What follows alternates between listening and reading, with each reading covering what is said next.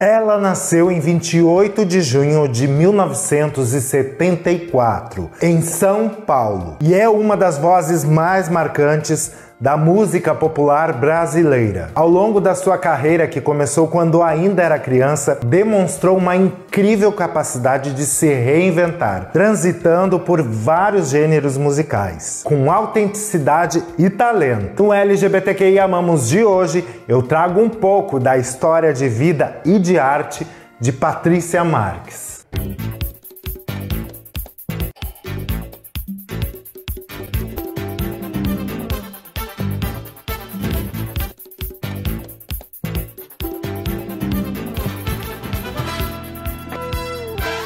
Olá, Contigo Lovers, tudo bem com vocês? E antes de seguir com mais uma homenagem aqui nesse canal, eu quero te pedir o like. Deixa logo no começo que é para o YouTube entender que o conteúdo é bom e assim ele indica para mais pessoas. E você que caiu de paraquedas aqui nesse canal, já aproveita e aperta no botão de se inscrever e me ajuda a crescer aqui dentro dessa plataforma. E para você que está aqui há mais tempo, agora tem uma novidade. Você pode ser membro do canal por apenas R$ 4,99 por mês. Você tem um selo para chamar de seu, você tem prioridades nas respostas, consegue ver os vídeos antes de todo mundo e ainda o seu nome aparece no final desse vídeo como forma de agradecimento. Bora ser membro aqui desse canal? E feito isso tudo, vem Vem comigo para mais um LGBTQI Amamos. A Trícia iniciou a sua trajetória musical ainda muito nova, com apenas 7 anos de idade. Quando começou a participar dos programas de televisão, ela assistia o Chacrinha com seu pai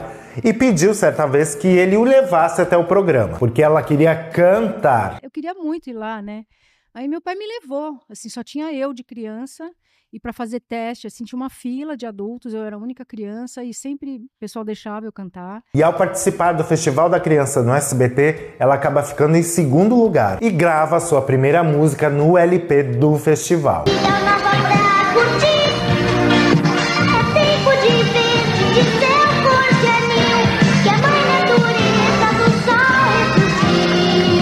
Nesse LP já tava ali o que seria no futuro o Trem da Alegria. E eu que jurava, gente, que esse daqui era o primeiro LP que ela havia cantado, mas não. Não foi. Nesse LP aqui, ela se junta a Luciano Nassim e formam uma dupla. E começam juntos a se apresentar no programa Clube da Criança, da extinta TV Manchete. Os famosos mosqueteiros, os perigos a enfrentar e ajudar terceiros, mil vitórias a salvar. Os três mosqueteiros contra o mal sempre a lutar e ao fraco ajudar. Até que entra Juninho Bill e a dupla vira trio, na verdade vira o Trem da Alegria. E nesse período ela participou de vários álbuns que fizeram muito sucesso, com muitos hits. O grupo foi um fenômeno nos anos 80 e marcou uma geração. Canções como Unidunité, Dona Felicidade, He-Man, Fera Neném e com uma voz doce e um carisma, Patrícia logo se destacou no cenário musical infantil. E depois de ter participado dos primeiros discos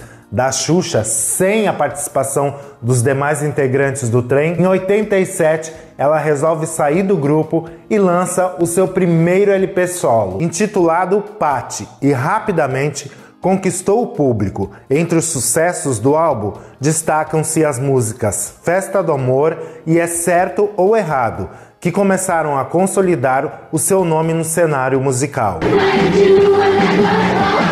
E ao longo dos anos, ela foi lançando outros discos que marcaram a sua transição do infantil para uma sonoridade mais madura. Em 1990, com o lançamento do álbum Incertezas, ela explodiu nas paradas com o hit Sonho de Amor. A música foi trilha sonora de novelas e fez parte da vida de muitos adolescentes brasileiros na época. E tendo influências de Kate Blush, Gal Costa, Michael Jackson, em 1992 ela resolve abandonar totalmente o pop, as canções mais adolescentes e decide focar em algo mais maduro ainda, lançando o álbum Neoclássico, com canções de Rita Lee, Tom Jobim e Noel Rosa. Mas apesar da brasilidade do LP, ele foi lançado somente no Japão, tendo poucas cópias por aqui. Em 1994, Patrícia Marques adota um visual mais sensual e de nova gravadora lança o álbum Ficar com Você. A faixa título do álbum, Ficar com Você e especialmente Espelhos d'Água,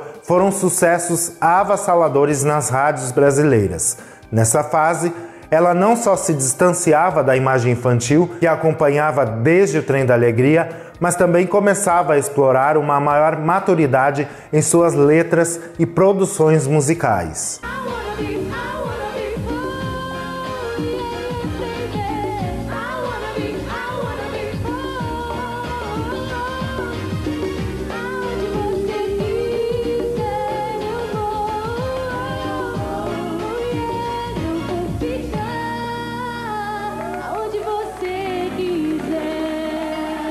E a década de 90 foi crucial na consolidação da imagem da Patrícia como uma cantora pop de nome e de respeito. Ela investiu numa sonoridade mais sofisticada e trabalhou com grandes nomes da música brasileira, entre eles o Nelson Mota. E tudo isso fez com que ela fosse convidada para substituir a Ivete Sangalo quando a mesma deixou a banda Eva. Nos anos 2000 passou por outra fase de reinvenção artística. Influenciada por gêneros como soul, jazz e música eletrônica, ela buscou uma sonoridade mais experimental e internacional, lançando o álbum Respirar, que trouxe uma Patrícia mais introspectiva e refinada, com canções que refletiam suas influências. E essa fase mais alternativa a distanciou dos hits comerciais das rádios, mas a aproximou de um público mais nichado, que apreciava sua busca por novas sonoridades. Em 2005, com o álbum homônimo Patrícia Marques,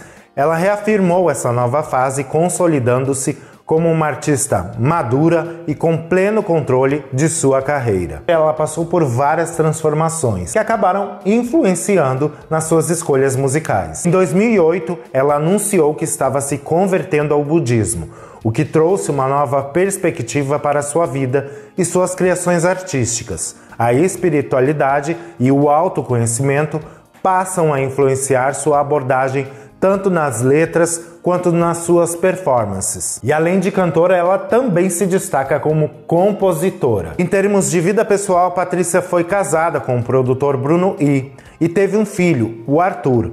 E mesmo com altos e baixos da vida pessoal e profissional, ela se manteve focada em sua música, mostrando uma força admirável. E atualmente ela continua ativa no cenário musical. Nos últimos anos, lançou álbuns independentes e explorou novos estilos, sempre com uma abordagem inovadora, chegando a revisitar alguns de seus maiores sucessos com arranjos mais modernos e minimalistas. Esse projeto, inclusive, foi muito bem recebido pela crítica e pelos seus fãs. Aos 46 anos de idade, revelou ser lésbica onde apareceu ao lado de sua namorada em uma publicação em suas redes sociais. Teve uma metade, assim, metade que, que aceitou e entendeu e que me conheceu de uma outra forma. Puxa, que legal, você né, teve a coragem de falar sobre o assunto. Nossa, que legal, uau, né? E as outras pessoas que não, não, você tá louca, porque você imagina falar sobre isso, os nossos filhos. E foi através das suas redes que ela também compartilhou a sua vida de universitária Patrícia está cursando psicologia. Seu último trabalho foi lançado em 2023 e ela, com toda certeza, é uma referência musical e mantém uma base de fãs fiéis que a acompanham desde a época do trem. E essa foi um pouco da jornada incrível da Patrícia Marques. E se ela ver esse vídeo, eu espero que ela tenha gostado dessa homenagem e eu espero que vocês também tenham gostado, tenham deixado o like, se inscrito no canal quem ainda não for inscrito. Tá passando aqui agora o nome dos membros do canal. Quer ser membro do canal? Vem ser membro. E tá aumentando, hein? Olha só, Hugo, Leandro, Armelindo, Marcelo. Muito obrigado a todos vocês que estão fazendo parte aí do clube de membros. E esse foi mais um LGBTQI Amamos. Eu espero que vocês tenham gostado, tenham me assistido até aqui. Eu sou Marquetito e já sabem, eu conto muito contigo.